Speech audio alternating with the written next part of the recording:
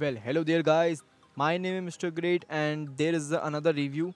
This time I will be reviewing Samsung Galaxy A7, the 2017 version. So this phone is released in January of 2017 and this device falls in the category of the medium to high range smartphones, which means you should have a budget around of 35k to purchase this device. As usual, it has some similar elements of previous generation a series device along with some additional features which I will be mentioning further in the review. Also in the end I will mention other phones that you can buy in this segment so stay tuned till the end. So guys one of the most notable features of this series is their metal unibody and Samsung no doubt have not compromised in that. A7 features a full metal unibody design which sports a slight curve at the back which smoothly transition to the front screen as usual, volume rockers are located on the left side of the screen and the power button is on the right side.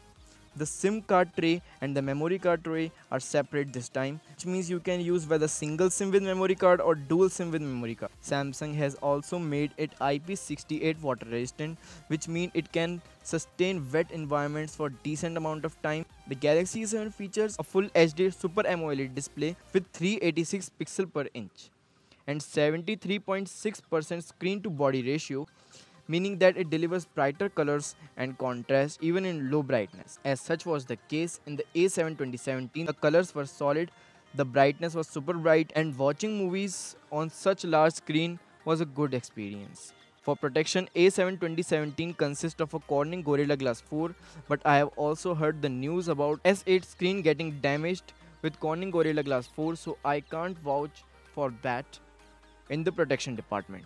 To power up this gorgeous screen, Samsung has fitted a non-removable Li-ion 3600 mAh battery that promises to deliver screen on time of up to 23 hours. But since the device was fairly new, I didn't got the time to test that. Samsung have at least put in a larger battery capacity to power up the phone. But that's not the issue because non-removable battery supports fast charging and comes with the faster charger adapter inside the box along with the micro USB to USB Type-C adapter. A7 2017 features a 16 megapixel rear camera capable of full HD 30 fps recording along with a good and quick focus. It is not the best in the class but this is great for the price range and in the front camera department though the Samsung Galaxy A7 is unbeatable with a 16 megapixel CMOS technology camera even in the front meaning that even under low lighting conditions the front camera can take pretty decent selfies there are usual modes available for cameras such as panorama along with few food beauty and other filters etc Samsung Galaxy A7 2017 houses a Samsung's homemade Exynos 7880 octa-core processor which is clocked at 1.9 GHz. During my usage, I haven't faced any lag between switching apps or other processor so it seems like a decent processor also coupled with 3 gigs of RAM and 32 gigs of internal storage Samsung Galaxy A7 delivers a faster and smoother performance for its price range. Samsung Galaxy A7 runs around a Android Marshmallow right out of the box and has a good chance of receiving the Nougat update. As usual Samsung has skinned over the TouchWiz on the top of the stock Android but this time it is optimized much better than the previous version. Usual Samsung gestures such as double tap, the home button to launch. The camera worked fluently along with the added features such as device maintenance made sure that the phone runs in the top shape. Although it seems as a useless feature for some users who know about the cache trash and other junk as they can clean it themselves.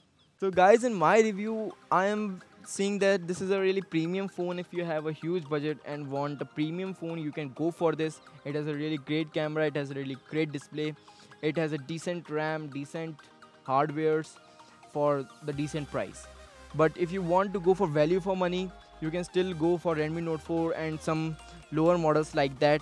And if you want to if you want a really great flagship you can just invest some some more money and can go for oneplus or the higher version of samsung like samsung galaxy s8 s7 edge etc it is an awesome piece of tech but i don't think that it really worth it so this is my review on Samsung Galaxy A7. In the end, I will like to say that it is a good phone for a power user who wants a decent featured phone with Samsung brand chip and have a budget of 35k to spare.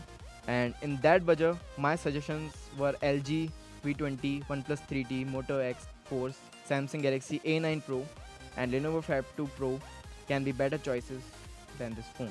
These are some great phones that you can buy in this segment and have some nice specification in this price range. For further queries, mention your questions in the comments and uh, if you found this video useful, please hit that like button and press the subscribe button with that bell icon if you not yet pressed that buttons. And this is Mr. Great signing off. Jai Hind.